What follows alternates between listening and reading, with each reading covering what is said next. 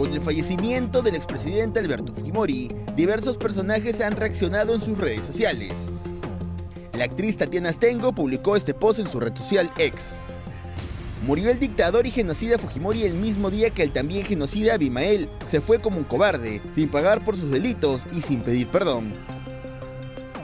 Lo que no fue bien visto por algunos de sus 450.000 seguidores, quienes hicieron comentarios como Por lo menos todos hablan de Fujimori, cuando te mueras nadie hablará de ti, a ti nadie te acompañará, pseudoactriz. ¿Y quién combatió el terrorismo? Por otro lado, la congresista Sigrid Bazán emitió el siguiente mensaje. Murió el dictador asesino y corrupto de Alberto Fujimori. Se fue sin pagar un sol de reparación civil, sin pedir perdón y en libertad gracias a un indulto ilegal. Su legado de corrupción, violaciones de derechos humanos y autoritarismo no se borran con su muerte. Una publicación que tiene los comentarios restringidos.